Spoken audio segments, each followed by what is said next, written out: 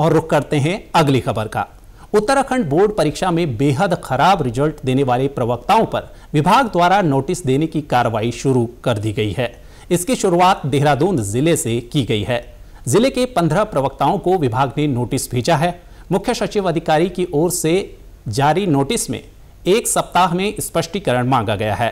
माध्यमिक शिक्षा निदेशक महावीर सिंह बिष्ट ने कहा कि प्रदेश में जिन स्कूलों का बोर्ड परीक्षाओं का रिज़ल्ट बेहद खराब रहा है, वह वहाँ के शिक्षकों के अपने कार्यों के प्रति उदासीनता और अपनी ड्यूटी का निर्वहन न करना दर्शाता है।